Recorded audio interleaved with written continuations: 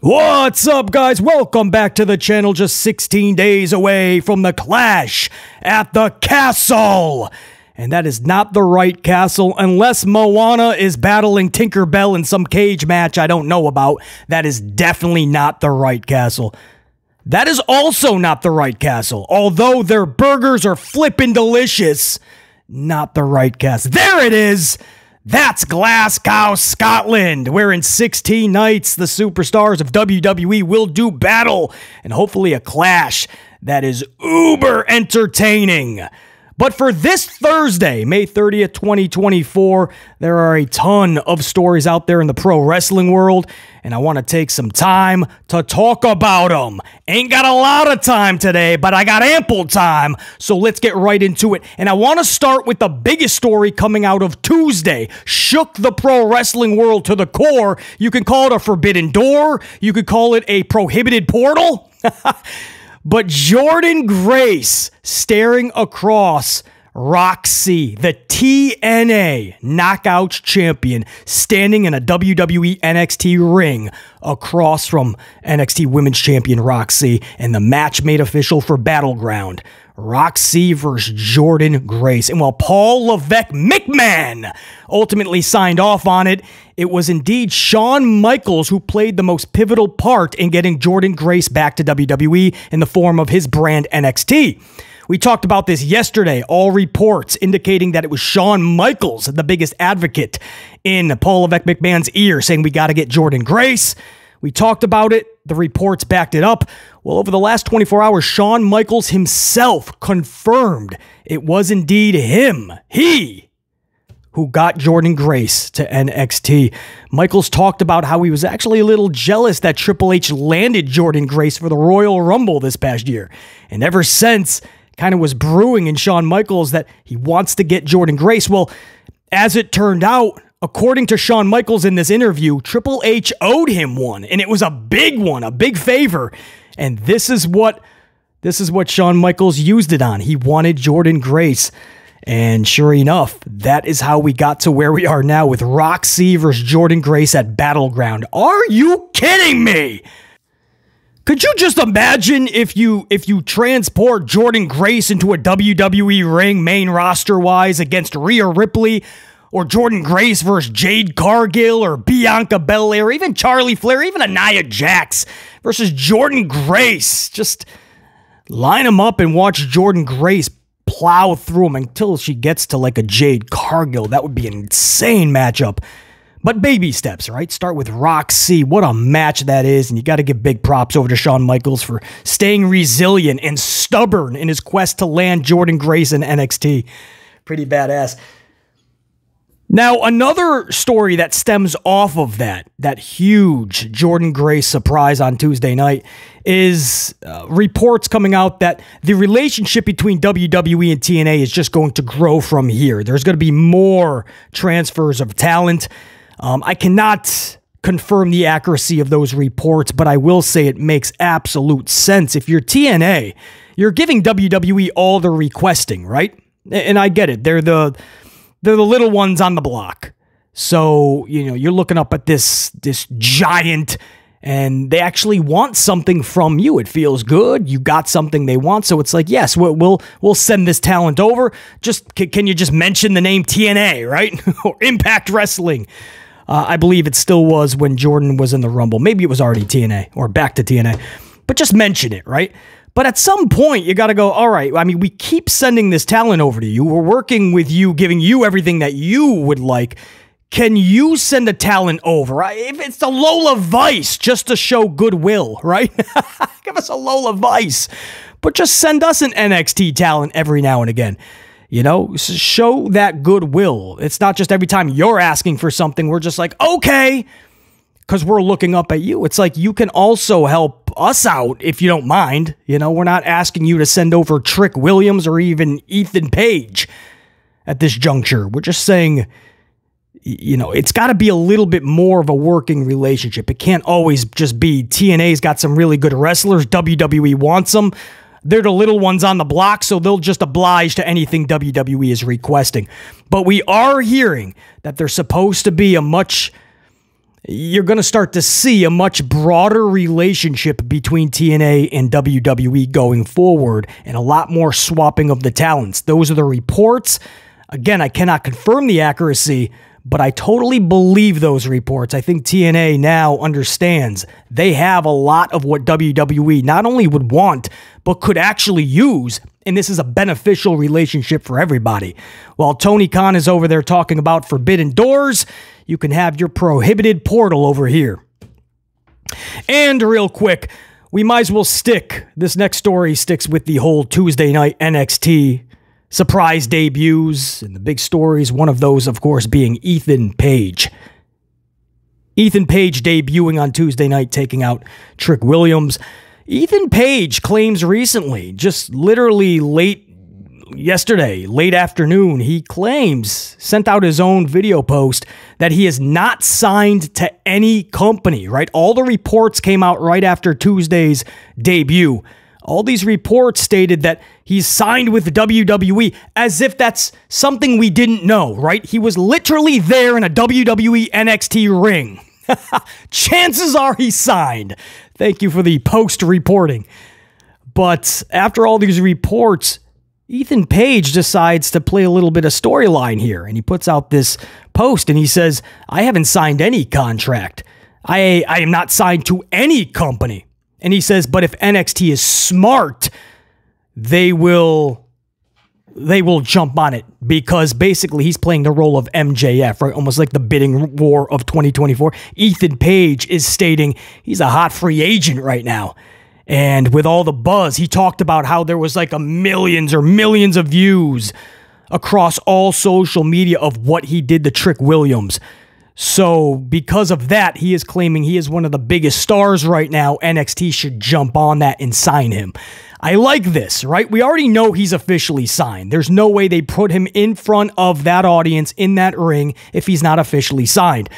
But I love how they're bringing that into the story, man. There's no harm, no foul with putting in the storyline that you did that on your own accord. You are not signed. It makes it more fun. How is NXT going to approach this? How is Ava going to approach this?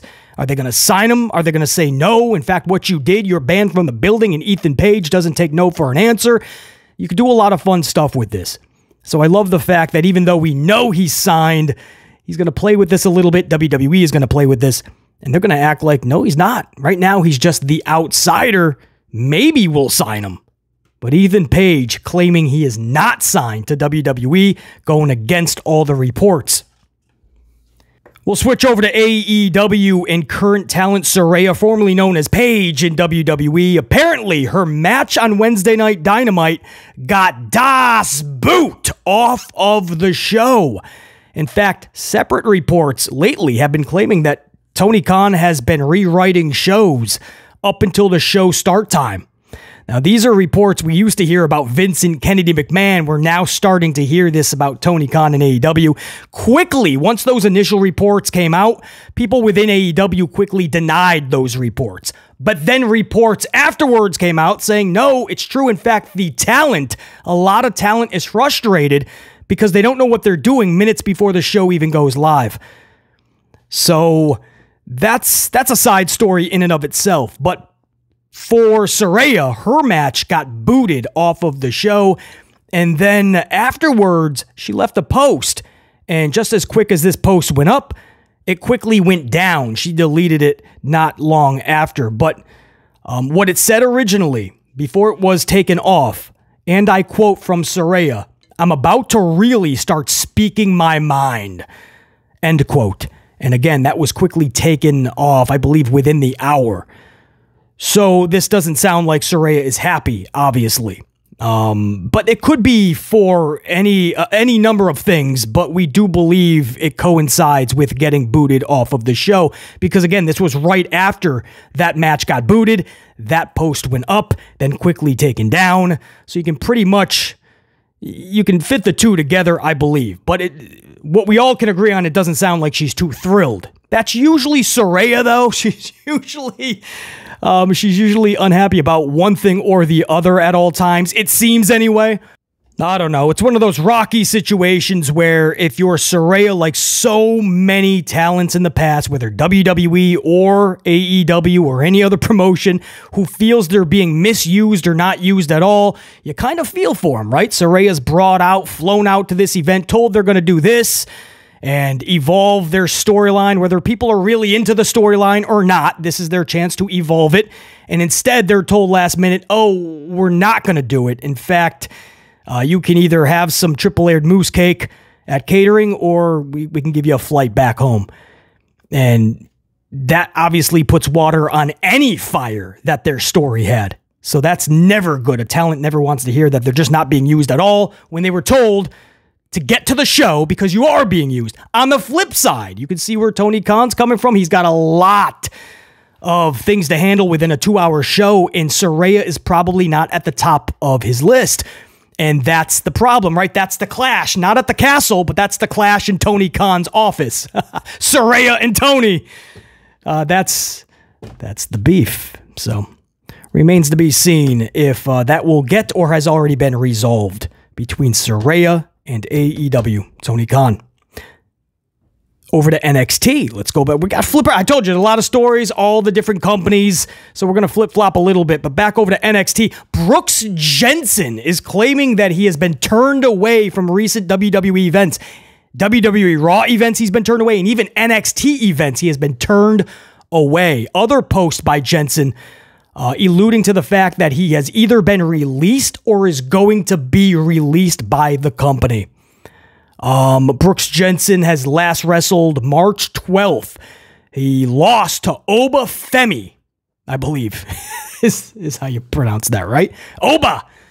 March 12th. That's the last time you saw Brooks Jensen wrestle. And again, that was in a losing manner. So this could be one of those situations where he, if he hasn't already been released, he is he is either going to be or just not be re-signed. The company has started to do this where they tell talents we're not going to re-sign you. And so it's kind of like this weird period where you're still with the company, but you best be looking for new work because the company has already told you, like Drew Gulak, for instance, he didn't officially get released from what we're told. They're going to let the contract run out, which is imminent, and then they're just not going to re-sign him. You got to believe the Ronda Rousey situation and pulling Rousey's sweatpants string. You got to believe that was the final nail for for Drew Gulak. But Brooks Jensen looks to be kind of the latest casualty in the NXT releases or just not re signing of a lot of talent. It'll be interesting to see. And the reason we don't think he's been released yet, even though he's also posting bookings, by the way, where you can book Brooks Jensen, which usually the company does not allow. So that's another sign that he's no longer with the company or isn't going to be soon. But the reason we believe it hasn't been official yet is because he's actually still on the active roster page for WWE Talent. And that's a legal page. So there's still some connection with Brooks Jensen in WWE. So we'll be keeping an eye on that on that as well. More coffee, BC. Uh, should we stick with NXT? This is kind of an interesting developing story as well.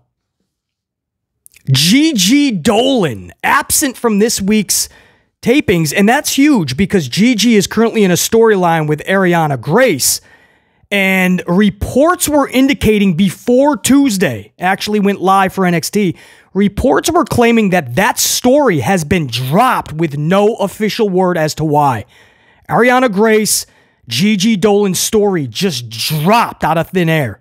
No reason, no explanation. And then we find out that Gigi was not at the tapings this past Tuesday. So that is another story we're kind of keeping an eye out. Is there a falling out between NXT and Gigi Dolan and vice versa? Is Gigi on that same kind of um, outside looking in like Brooks Jensen? We'll have to keep an eye on Gigi Dolan as well. But that's an odd turn of events. The storyline dropped and she was not at NXT this week.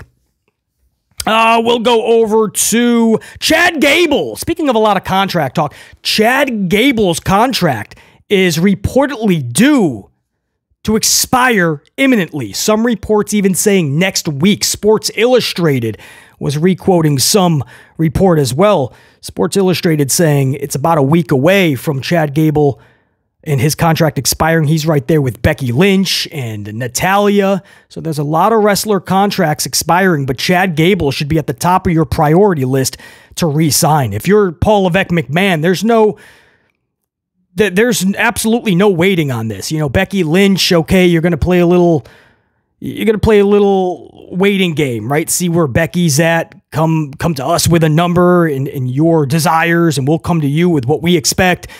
You know, Drew McIntyre, they kind of strung it along for a bit. A lot of contracts, you're starting to see that. But with Chad Gable, this guy is he covers every base. I mean, he checks off every box. He can he could go in the ring with the best of them and even better than the best of them. He could go on the microphone. He could carry storylines on his back. This dude is believable, but he's also got the comedy aspect. He can play your face, he can play your heel, he can get the crowd behind him like a true Rudy story, or he can make you literally want to boo the shit out of him right out of the building. Chad Gable does it all. He's currently one of the best storylines in WWE right now, with the Alpha Academy about to turn on him because he's such a dick. Um, Chad Gable's contract expiring is what we're hearing imminently. Even some reports claiming within a week they have to sign this dude quick because the latest word we're getting, they have yet to do that. Well, you got you got a week to do it, man. This is Chad Gable we're talking about. Let's not play around with that. Moving on, let's go a little bit more lighthearted for this one. Finn Balor's response to the kiss heard round the world Monday night on Raw. Some people didn't see it. It went off the air before the kiss was planted, but Liv Morgan laying one on Dominik Mysterio. And if you were wondering what the feeling was within the Judgment Day members, they could have easily went the storyline route, right? And, and, been slamming Dominik for not being focused and pissing off mommy and causing tension within the within the group. But Finn Balor was like, dude, I, I can't even slam the dude's game. Balor just put he got game. That's all he posted. if you're wondering Balor's position on this, knowing that mommy's going to be pissed, knowing this is a massive distraction for the group, Balor couldn't even stay in storyline or character. He's just like, he got game. That's got to make you. I don't even blame Balor. You can't even stay in character or storyline for that, man. Look at what they have Dominik do. He's between Rhea Ripley and Liv Morgan. This dude's got it made right now. You got to give props at that point. All right, moving over to uh, these are some of the bigger stories here. Uh, we'll start with Charlotte Flair. Ric Flair recently in an interview stating that, and this we already knew this, uh, we saw this from day one, that Charlotte Flair's rehab is going exceptionally well. In fact, the word we were getting from the jump was ahead of schedule. In fact, Ric Flair claims Charlotte Flair is working out twice a day. You got to believe that's even outside the bounds of what rehab is is wanting her to do because that's just Charlotte's mindset. Just go, go, go twice a day in her workouts. Ric Flair saying she recently filmed a movie, much like Joanna Y, Roman Reigns. Uh, recently filmed a movie as well. So that, that tells you how good Charlotte is feeling. Man, she's out there filming movies, working out twice a day. You gotta believe it is only a matter of time before Charlotte Flair is back in that ring. And if that's the case, you gotta believe she is gonna rack up championships. I truly believe 41 in Vegas she's going to be tying Ric Flair's record. I think she's going to win two more titles before that. Win one, quickly lose it, and then another championship at 41. And I believe that would tie the record, right? 16? So, anyway, that's what it's looking like. Charlie's 16 time. Is that something you guys want to see? Charlotte Flair come back, win her 15th and eventual 16th title. Um, both in the very near future, or are you in the camp of no thank you, BC? I don't need to see Charlotte Flair win another title for another five years. She's won enough in a short amount of time. I'm all set. Wherever, whatever side of the fence you stand on as it pertains to Charlotte Flair, uh, she's on her way back soon, and you gotta believe she's gonna rack up titles. Subsequently, another big return right up in the same realm, right? The, the two biggest stars that Vince McMahon propped up was Charlotte Flair and Roman Reigns. Um, a lot of people believe that the only person that loves Roman Reigns and Charlotte Flair more than Vincent Kennedy is Paul Levesque McMahon. He puts him on an even larger pedestal, a much higher pedestal. And if that's the case, you can see big things, not just from Charlie when she gets back, but Roman Reigns, who is training for a return. Video video has surfaced of Roman in the gym, and this dude has his game face on. Roman looks like he is ready to rock. This is this is game day training for Roman. And this coincides with a report we were hearing before this video even surfaced. We were hearing reports that WWE has the date June 21st in mind for Roman's return. That's not confirmed, by the way, but that was a report before this, this training video surfaced. And June 21st, that's interesting, right? Because if you look at the calendar, that is six days after the Clash at the Castle. That is the post SmackDown for the Clash. That's huge. And the venue, Chicago, Rosemont, Allstate Arena a massive venue, a massive date. That is the first show that catapults outside of Raw post Clashes Raw. SmackDown is the first set of shows that is going to catapult all storylines for SummerSlam. And then at the end of August, you have the Bash in Berlin, but you can easily take out Roman for that. It's SummerSlam that's the biggest focus right now for WWE and Roman. So by doing June 21st, you avoid the travel to Scotland and you're able to have ample time to set up a SummerSlam feud and matchup. So June 21st was a date that we were hearing upon further research on the calendar. That date makes sense and it's imminent, man. That's coming up. So basically, keep an eye out. That might not be the only footage or post you see of Roman Reigns clanging and banging as his return looks to be imminent. Will Solo have some splaining to do? That's what I got for you guys, man. Until next time. And there will be that next time. SmackDown tomorrow night. And soon thereafter, obviously, an amplified review of said so. So, with that said, top guys, we are out. BC in the unit saying check you. Peace.